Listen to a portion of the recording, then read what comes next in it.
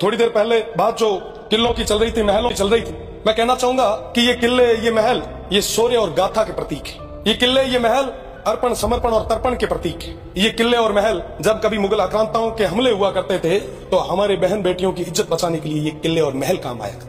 ये किले मुश्किल में उन शरणागतों को शरण देने के लिए काम आया था। साहब, राजस्थान की जब बात की जाती है तो कहा जाता है कि पग पग सूरा देवली पग पग सतिया थान, मन डर पे डग मेलता रंग है राजस्थान।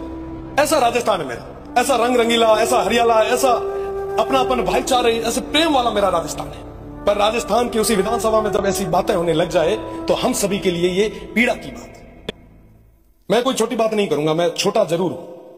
पर अब मेरा ये नैतिक धर्म है, मेरी ये ज़िम्मेदारी है। मैं कहना चाहूँगा उन तमाम लोगों की सदन की एक गरिमा है। हम सभी की नैतिक धर्म है, नैतिक ज़िम्मेदारी है कि इस सदन की गरिमा को हम बनाए रखें। कोई भी किसी भी जाति से हो, धर्म से हो हमें सभी का सम्मान करना है। हमें ये सिखाया गया। बहुत बहुत धन्यवाद।